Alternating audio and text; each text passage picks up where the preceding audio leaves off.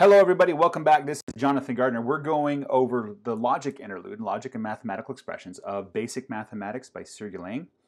And this is section four, which talks about indices. Now, when I was teaching Singapore math to my children, we were using the algebra textbooks, and they called indices the exponents. So they said like x to the 3, the 3 is the index. This is what they said in Singapore math. Now, Singapore math, I believe, is the uh, English or British system, so they're using the terminology there.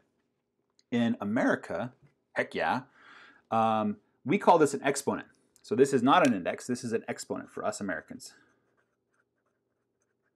Um, the index is this number on the bottom. This is the index that we call the index. Um, I think they call it subscript in the British system. I could be wrong. I didn't take math from any British professors and I studied math my entire life in America. So my only exposure to the British system is through Singapore math. So if there is any confusion with my Indian viewers or my British viewers or anybody else, let me know about the correct terminology. I will remake this video to explain how the terminology works between the two systems. Okay, now he introduces this topic this way. He says, let's start with this statement. Let x and y be numbers.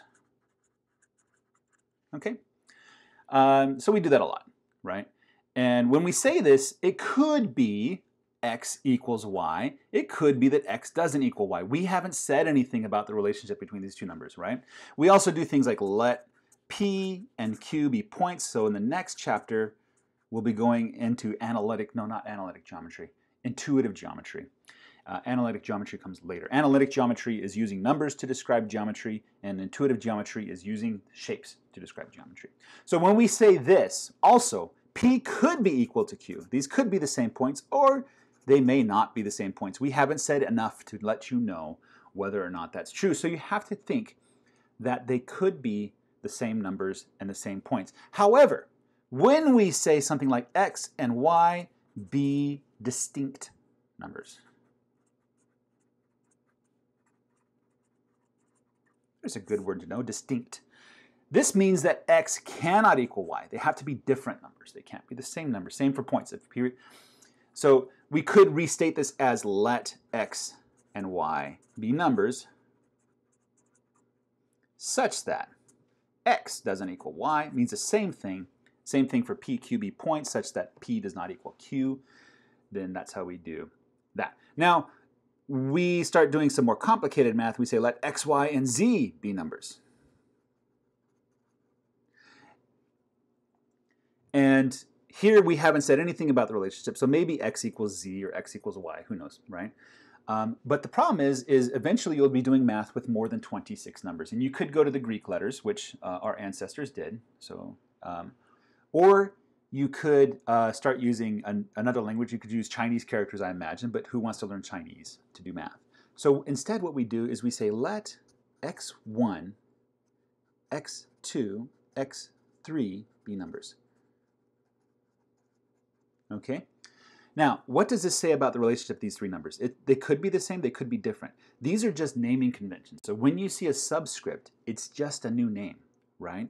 And you can put any kind of number down there. And, and you can even say like x sub a, where 1 um, is less than a is less than or equal to 4, and a is an integer, right? So, you know, this would be, so you have x1, x2, x3, and x4 in this case, right? So you might see a letter standing in for the subscript there. That happens too.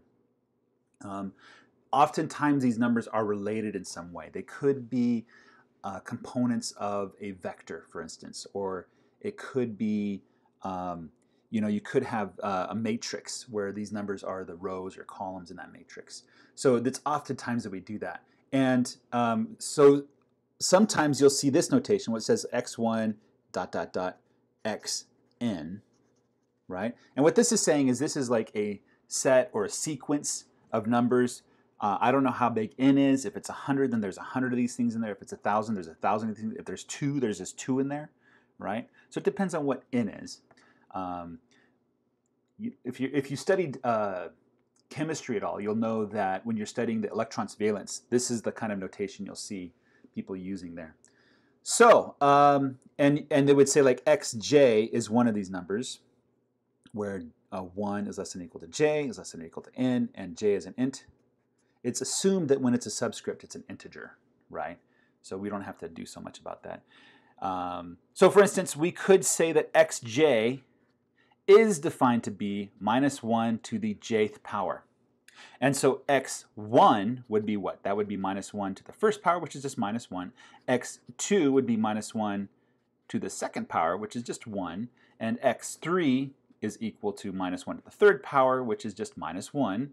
And x4 is equal to minus 1 to the fourth power, which is just 1. And you can see there's a pattern here, where when the, sub, the subscript is, is odd, it's negative 1. And when the subscript is even, it's positive 1. And so you'll actually see these subscripts being used in formulas to describe how the numbers relate together.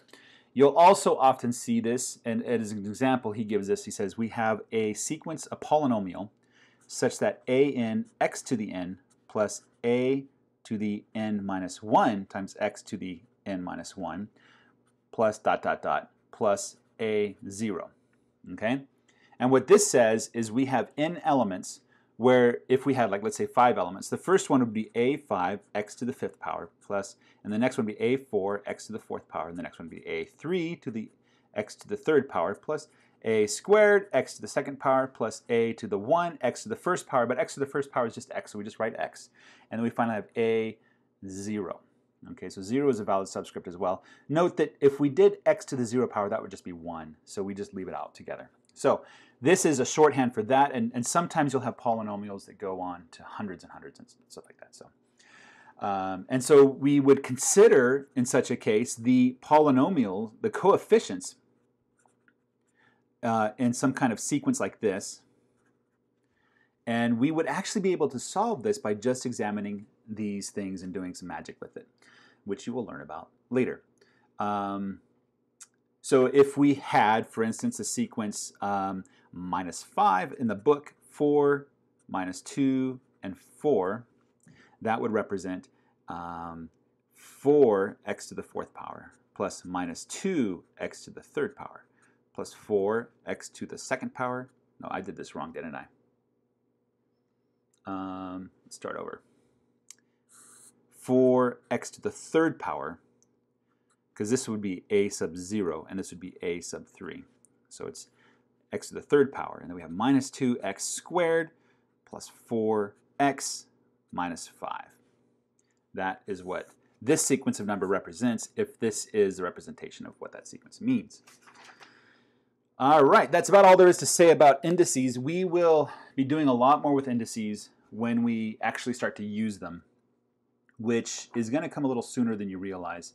I don't know we use much in chapter 4, but we do use it in chapter 5 um, because we're dealing with two-dimensional three-dimensional objects, and so we don't know if we have two or three items in the sequence. Anyways, thanks for watching. Take care, and bye-bye.